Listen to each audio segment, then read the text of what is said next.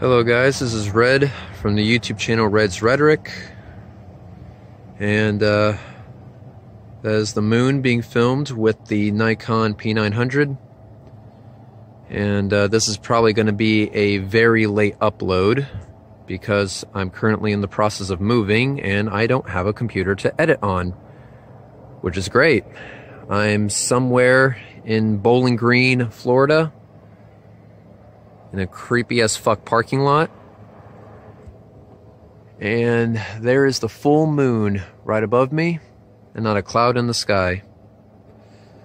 The International Space Station is supposed to transit the moon in about 10 minutes or so.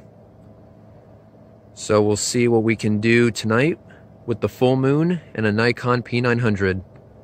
Let's see if we can piss off more flat earthers.